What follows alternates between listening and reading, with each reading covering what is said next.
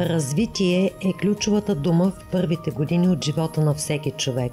В тази посока е необходимо да са насочени и основните усилия на родителите, които имат дечица с увреждания. Те обаче не биха могли да се справят сами. Необходима е помощта на специалисти, за да развие детето максимално своите способности и да постигне значителна независимост. В Дома за медико-социални грижи за деца във Варна има дневен център за деца с двигателни дефицити, които се отвеждат в семействата си. Всичко тук за тях е безплатно. Услугата може да се ползва по-часово или за целия ден. Дневният център работи от 2009 година. Е открит на територията на дома. Капацитет 12 места. Оказа се във времето и в годините, че имаме интерес към нашия дневен център и в момента от две години е разкрита втора база с капацитет отново 12 места и в момента в дневния център имаме 22 деца на различна възраст. Първоначално центъра е открит за деца от 0 до 7 годишна възраст с нарушения в моториката от периферен или централен происход. А, но имаме интерес и приехме нови деца. В момента децата имаме и над 7 годишна възраст, защото в времето се оказва, че едно дете, когато навърши 7 години, по закон трябва да посещава първи клас но в повечето случаи от децата, които имат по-тежки здравословни проблеми или които не могат да се адаптират в масово училище, а, решихме да вдигнем леко възрастта и от миналата година вече имаме нова услуга, която стана съпътстваща към нашия дневен център, което е най-важното интензивна работа от специалисти, логопед, психолог, кинезитерапевт, ерготерапевт вече на територията а, имаме и образователна подкрепа. Това означава, че от Център от специална образователна подкрепа идват, идват двама учители, които допълнително обучават децата, които са в дневния център и в същото време спазваме всички изисквания на закона на Република България за образование, в които тези деца след 5 годишна възраст получават и съответно сертификат за придобита образователна квалификация. Подкрепени са изцяло от нашите специалисти за всяко едно дете. Се изготвя индивидуален първо терапевтичен план, индивидуален здравословни, които се изпълняват здравословните потребности на детето и вече имаме индивидуален образователен план на децата.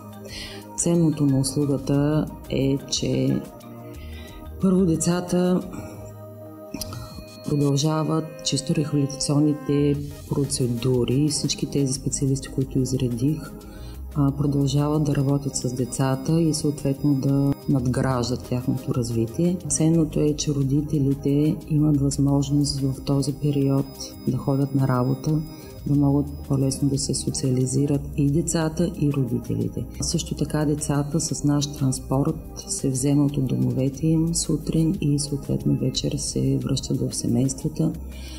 И не на последно място, постоянно медицинско обгрижване, така тези деца имат нужда от такъв тип подкрепа. Мария Ангелова е майка на едно от децата, които посещават дневния център което е на 8 години с детска церебрална парализа и умствена изостаналост. А, детето ми посещава дневния център от 4 години. А, когато започна да прави първите си стъпки, го записах в този прекрасен център и той проходи благодарение на специалистите тук. Целта ми беше да го откъсна нали, от домашната среда, за да може да е по-самостоятелен и тук получи най-адекватната грижа. С него работят ерготерапевти, рехабилитатори, специални педагози, физиотерапевти и в момента той прави първите си изречения. Благодарение на специалистите започна да разбира много повече и най-важното започна да играе с деца, да комуникира с тях, докато преди беше много затворен и си играеше самичък. Започна много повече да се усмихва, влиза с желание тук, както и като се прибере усмихнат и щастлив. А, започна да се храни сам, което не можеше преди да пие от чаша. Пак благодарение на усилията на всички, които работят с него, а, започна да а, играе с играчки, а, да, да брои до 10, което преди беше факто невъзможно. А, започна да рисува кръгчета, чертички и да повтаря много думички, обогати речника си. но за сега сме на фаза само повтаряне. Точно Готово. така. Айде, служи го сега, Мими. Хайде, служи. Първо бяхме на почасова грижа, когато беше на 5 месеца, разбрахме каква диагноза има и ни насочи невролога доктор Щелянов към този център. Записал го, бяхме на рехабилитации, на физиотерапии, така 4 години. И вече като видях, че той напредна, започна да прави първите стъпки, постепенно, по-малко по малко го записах тук. 15 минутки, половин час, после остава вече да спи тук. И така, в центъра вече 4 години.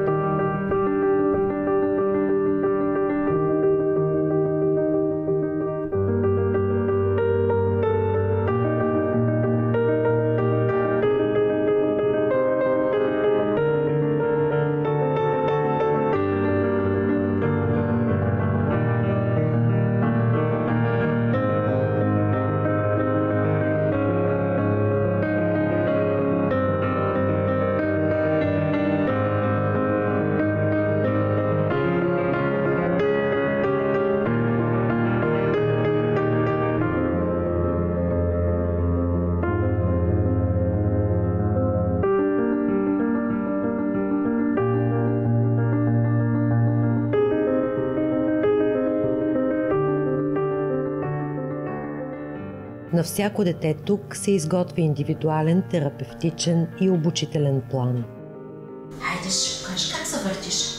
Покажи как се обръщаш, аз ще взема топката. Давай, давай, давай, учи ме да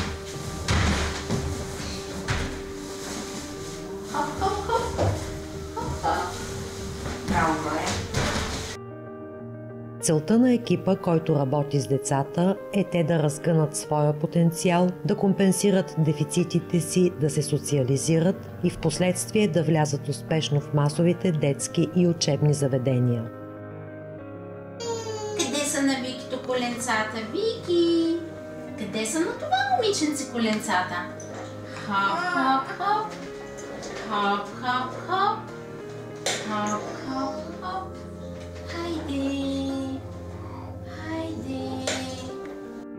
Рехабилитацията е необходима, тъй като за да напредва като цяло детето в неговото развитие, трябва да напредва на първо място и двигателно, и психически. Те вървят ръка за ръка. Когато дадено детенце е недоносено, с вече с поставена диагноза, с дадено генетично заболяване, много често нали, има изоставане в двигателното развитие на детето. Говоря това, което касае моята дейност нали, като рехабилитатор. И тогава определено е необходима стимулация и работа с детето, за да може да напредва двигателно относно глобалната моторика, което по своя а, с а, напредването в а, двигателен аспект неминуемо води до напредване на детето и в а, психическото му развитие. Що се отнася до нашата дейност, а, първите три години са особено важни, защото тогава нервната а, има особено голяма пластичност в нервната система. И дори да има някоя засегната зона от мозъчната кора или от други дялове на, нервна, на централната нервна система, тогава шансовете за изграждане на нервни връзки между отделни запазени неврони са най-големи до 3 годишна възраст, съответно там където има увредена тъкан, може нейната функция да бъде до голяма степен компенсирана от здрава тъкан.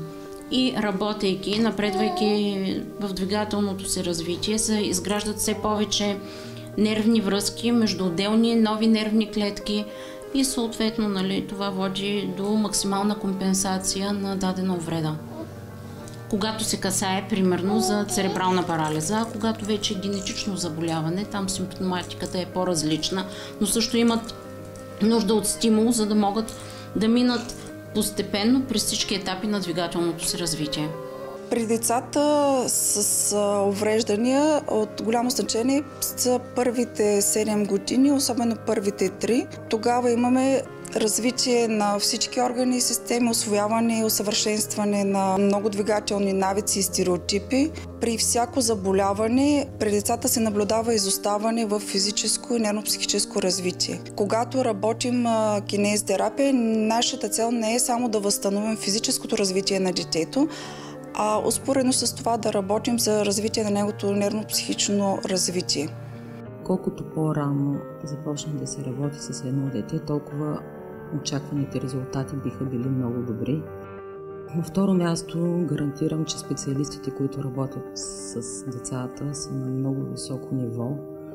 А, постоянно се придобиват нови и нови умения, ходят се на постоянно на квалификации, преквалификации и наистина нашите специалисти имат много добър опит с работа с деца с нарушения в моториката.